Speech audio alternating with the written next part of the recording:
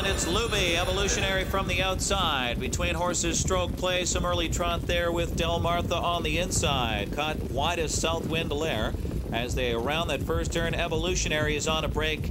And it's Luby and Jim Doherty on a clear lead by two lengths. Del Martha moves up second. Armbro Astral is third to the opening quarter there. Stroke play under a snug hold, reined into fourth. Southwind Allure slides in fifth there. Southwind of Lair is now fifth. Up on the outside, Sunday Yankee from sixth, stride for stride with Glide About. Then it's a Tagapine near the back with Alex Hall, who didn't make the gate. Evolutionary off stride and trailing 27 and 4 fifths. And it's Luby up front. Luby with her speed controls it here with Jim Doherty up the backstretch. Del Martha in the second spot with Miller. It's Armbro Astral third.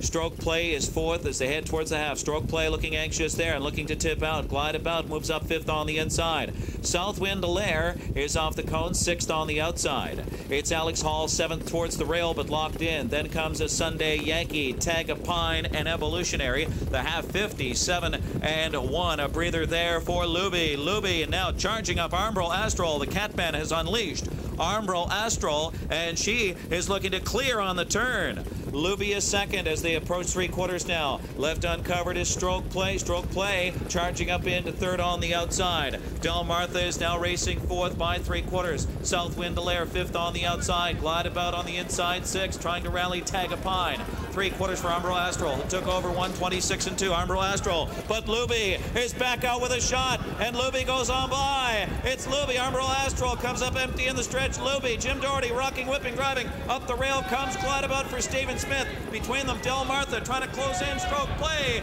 but it's Hall of Famer Jim Doherty Wow, Luby leaves as usual, yielded, and came back for more for the biggest win of her career. Harness Racing's Goodwill Ambassador, the late Delvin Miller, was a master with trotters. Another Hall of Famer, newly inducted Jim Doherty, has proven time and again he's a top hand with trotters too. This is his third win in this race and the second teaming up with Tom Gonzalez. They won it in 99 with Lovely to Behold. Take us uh, past the half here. Armbro Astral came up with a big burst there. What were you thinking at that point? Well, I, I, respected her. I know she's a real good filly. I saw her race in all her races. I was out. Uh, she's just a good filly, and uh, I didn't know if I could fight with her and win, so I let her go. And uh, Luby was, you know, still up on the bit, so I just took a shot and let her go. And I knew she'd keep on going. I thought, and uh, things worked out. Now, uh, most recent Hall of Famer is Jim Doherty. Uh, tell us a little bit more about Luby, the best quality. Does she have to race up front? No, she doesn't, but she likes to lead, and so do I, so uh, we get along pretty good. Nothing like winning a big stakes race. A happy winner's circle ceremony for the Luby connection celebrating their upset victory in the Delvin Miller.